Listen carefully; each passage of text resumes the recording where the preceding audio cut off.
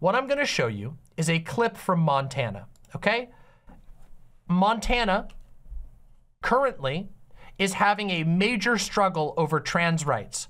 The Republican conservative faction in Montana is attempting to push through dis three disgustingly anti-trans bills, okay? Restrictions on trans participations in sports, restrictions on trans access to healthcare, and forcible outing procedures whereby teachers at public schools are required to out students to their parents, which is terrible, okay? These are just terrible things. These are bad laws, okay? There is one trans uh, uh, re state representative in Montana, Representative Zooey Zephyr, okay? The first openly trans representative that Montana has ever had. And she was silenced by uh, the Republicans. As in, while these, beer, these bills were being heard, she was prevented from being able to speak on them. That's right, they actually have prevented the only trans representative to ever serve the state of Montana from speaking on bills that are directly affecting her. And I want to show you how they responded when explicitly peaceful protesters, nobody was armed, nobody was fighting, showed up on the House floor. I'm going to show you a clip right now from what their response was. And I want you to understand, this is what the Republican vision of America is. Let's watch. Right here is Zooey Zephyr, and I want you to pay attention to what's going on behind her as she's holding up her mic. The reason that Zooey Zephyr is holding up her mic here is because they disconnected her mic, making it impossible for her to actually speak on the bill, despite the fact that she is a state representative.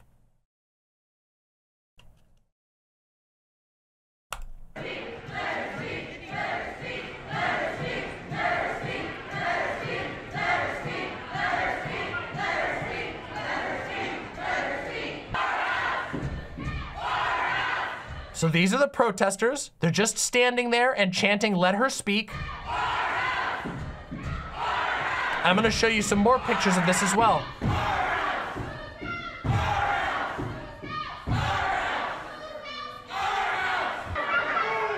And here you see, up here, the riot police are pushing into the crowd, up on a balcony, mind you. They're literally using riot police to push people up to the edge of a balcony.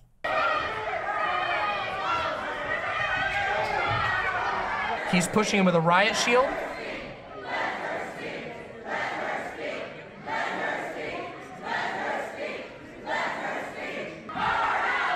Here's more of them. Marching in with batons, by the way. You can see them marching in here in the background. And I'm gonna show you another picture of this. Seven people were arrested. I didn't, he I didn't hear the final count. But I want to show you another picture of this, just so you can get an idea of how many cops they were filtering in here, okay? Take a look at this, all right? Here you go. You can see over here, there's cops filtering in up above, and that there's a line of riot police over here. Riot police for a peaceful protest in which no one was injured riot police. Not just, not even just calling the cops, which would have been bad enough. To have a bunch of cops arrest people for practicing their literal First Amendment right. And there's more. There's more. Let me read this to you, okay? This is Re Representative Zooey Zephyr's account. I have been informed that during tomorrow's floor session, there will be a motion to either censure me or expel me from the House. I've also been told I'll get a chance to speak. I will do as I have always done, rise on behalf of my constituents in defense of my community and for democracy itself. Notice is hereby provided to the House of Representatives of the 68th Legislature that at 1 p.m. tomorrow, April 26, 2023, a motion to act with respect to the conduct of Representative Zephyr will be made. The motion will be made pursuant to the House of Representatives authority under Article 5, Section 10.1 of the Montana Constitution for the body to determine if the representative from House District 100's conduct on the floor on the House of uh, on the House of April 24, 2023 violated the rules, collective rights, safety, dignity, integrity, or decorum of the House of Representatives, and if so, whether to impose disciplinary consequences for those actions. To maintain decorum, the galleries will be closed, so they're not allowing anybody in.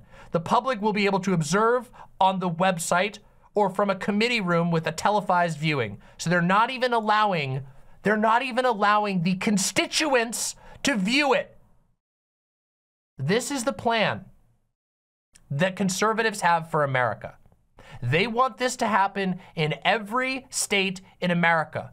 They want to force their will on everyone regardless of democracy. They do not give a shit. They will dress it up in this fancy language and at the end of the day, they are using the letter of the law to strip trans people of a voice, to strip trans people of their rights, and many, many more people than just trans people. We all know that trans people are just the hyperfixation, but this is gonna affect everyone.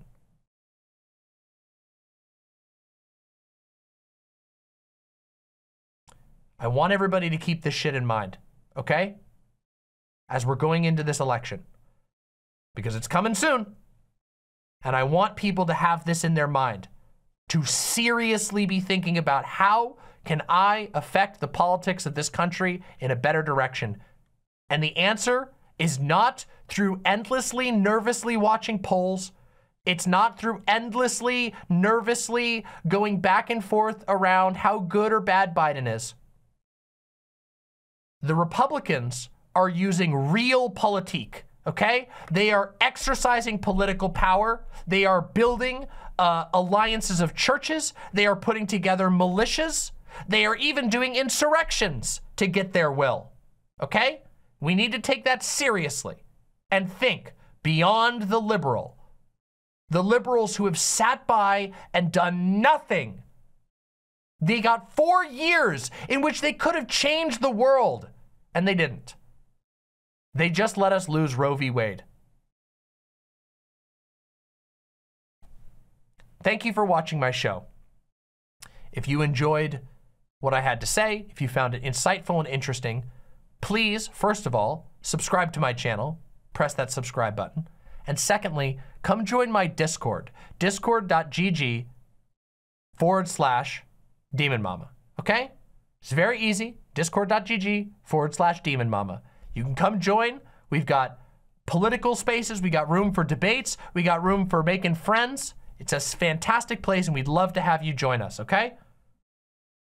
It's a perfect place to start to meet people who share your political values and start making some real connections. As many of you know, I believe that politics occurs through strong mutual connections, through people building real social connections, not uh, not distancing, like offsetting everything onto institutions, not going, I hope my representative will help me with this, but from people coming together, taking care of one another, and standing up for their rights to fight for liberation in a very real way. I believe in a, a, a material politics. And if that sounds like something that interests you, this is the place for you coming into this year. Tell your friends and get on in. Thank you very much.